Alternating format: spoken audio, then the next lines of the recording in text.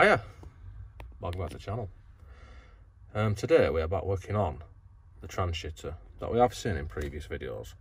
But today we've got a fault with it. I'll show you what the fault is. So I'll shut this door and then we get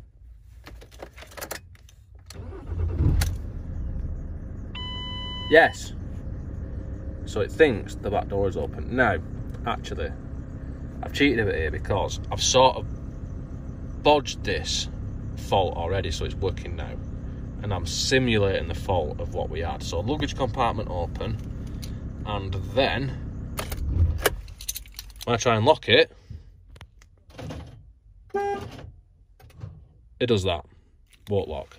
I'll show you what the fault is, why it's doing this shit. And the fault is in fact because the back door is open. But I've only done that to simulate the fault that was here before the back door was open. And as you can see, this, this has been attacked recently. Um, like I said, I've bodged this already, and, and this is where I'm going to fix it because the um, I was driving it and I pressed this yellow button to open the door all the way, and then when I shut the door, it didn't know the door was shut. So it gave me an indication as to where the fault was going to be, and I had an idea it was going to be something to do with these wires in here. So this is where I went straight to this, and I fixed it in the best way possible. Yes. Now, I wouldn't normally condone using chocolate block connectors on anything to do with a car or van or motorcycle or anything that moves because they're not really very good for it, but it's all I had at the time when I was trying to lock the van and I couldn't lock the van because he didn't know the door was shut. So what I'm going to do is I'm going to sort this out, but the problem as to why, and, and to be honest, most people aren't going to watch past this part of the video because this is, you know, the issue is, if you look at all these other wires, they're all starting to break they're all going green and it's where it comes out of this sheath in here. Now that sheathing I've cut back because it was to the exact point where they're broken. So to fix it I think oh yeah this by the way this was before was hooked up behind here which I've dragged it out just to get to it. In emergency situations I've said um, this wire does go behind this and on the other side of that and then hooks into there. And also it has all this shit in front of it as well. But that's sort of self-explanatory to take off anyway. So I probably should get on with actually fixing it. So unplug that from there so it is free. And then there is there's one of them which hooks into there, which just gets screwdriver and can remove. And now, if I push that, I can pull that pull this out of here and then I can get to it to repair it. The only thing about this though is I had three wires broken, as you can see, and all the wires are black. It seems to be some sort of security wiring, and one of them is slightly fatter than the others, and the other two are the same size, and I just guessed, and it seems to have got it right. So that could be a problem if you've got more wires broken, but hopefully it'll start fucking up and showing you signs that it's fucked up when you've only got one or two wires broken. So I just need to join these wires now, which involves, in my case, taking off these completely unsuitable to the situation chocolate block connectors. Um, and I need to do it one at once because, as I said, the wiring isn't labelled or doesn't appear to be labelled from what I can see. Um, it seems to be security wiring. So I just need to disconnect one at once and then put a little length of wire into it to lengthen it slightly so it's not being pulled as hard. That, that's the plan anyway. So that is one off.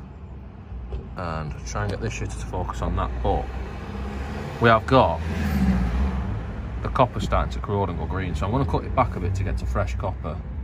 Like so. And then hopefully it will take some solder. But I need two hands to feed the solder in as I'm applying the soldering iron. So I can't really film that. Yes, and then I'm just going to butt joint these and you don't want to have too much of the soldered part of the wire on the joint because the joint becomes not flexible. So I've cut them down a little bit and then all I've got to do is put that this is what I made earlier by the way this is my extension piece. I'm going to do this for all the wires so it's not as tight. Put that next to there solder that to, put that next to there solder that together like that um, by the way, this, Like this Milwaukee soldering iron battery powered thing is fucking mint. So much less fucking about than getting a wire in a gas one or whatever else. Next I need to put some heat shrink over that joint, which you just feed on from the end as you can probably appreciate until you cover the joint. And then now I need to shrink it. You can either use a heat gun or you can use fire. Yeah.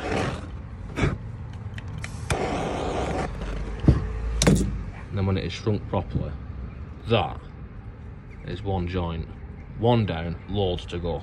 So now I need to join the other end. Before I do that, I need to put a bit of heat shrink over it because obviously I won't be able to put heat shrink over it once I've joined it.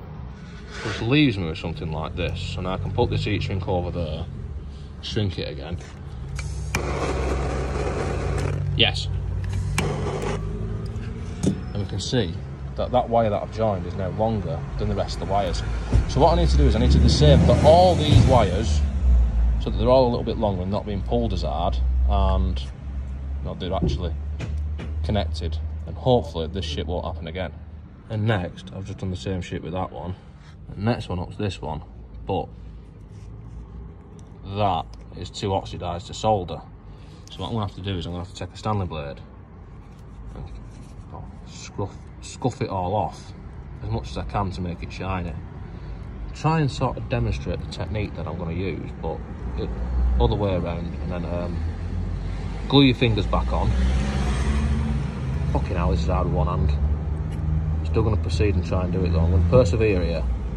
But if you just get the that sort of angle and just scrape it backwards, or putting some pressure on it,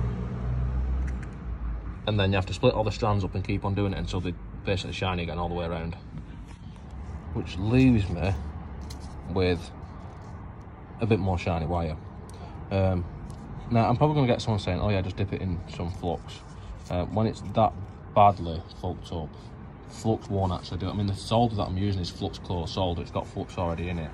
Um, yeah, flux won't clean that. You need to manually clean it, unfortunately. So I'm going to do the same with this shitter here. And as you can see, that was successful. And I now have two tinned wire ends. Now you can see where I haven't managed to scrape it back up to the insulation. Where it's not tinned, because the solder won't stick to that bit. So now I need to join another wire in. Yes. And another one, and another one, and another one, and another one, and another one. Yes. So now they're all roughly the same length. Right. I was going to rewrap it in that shit, like it was before I de-wrapped it from that shit. Yes. So now, this is pretty much done. Just got to build the shitter back up so that goes through there.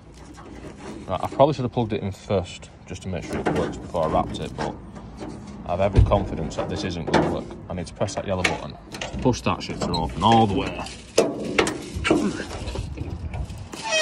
It's easier to fold that into there without bending the shit out of everything. Nice and carefully. And then it needs to be fed along here because it needs to go above that, as you can see. And then I can plug that back in, which just pushes back together. Might not push back together using one hand, but I'm to try anyway. Yes. And then on the back of that plug, there's one of them. And then further up here on the wire, there's another one of them there. That one plugs into there. It's just like a returning shitter. That needs pushing through there. This one needs pushing through there. Like so. I have another bash at this shitter. Yeah. Now I'm not left-handed and I'm using my left hand here, but not working. Right, so now this, this is to stop the wire from chafing on the metal of the door frame. So that needs to go in there like so. And now it's just a case of building it back up, putting the cover back on, which I don't really need to show, I don't think. Because if you've got this far, I didn't show taking it off, so if you've got this far, you don't know, you already know how to take it off and put it on. Yes. Can't find them two, but fuck it. Then that's back on, so all I've got to do now is put this back on. which is just a case of putting some screws in. So I think that's where I'm going to leave the video. That's all for this one. Not the usual sort of fucking about, sorry about that. Um, but fix the van, I think. Unless it don't work. If it don't work, I'll, I'll come back in a minute, but I think it will. Um, so don't forget to check out the other videos, all that kind of crap. Like, subscribe, and uh, check out my Instagram. And see you next time. Yes.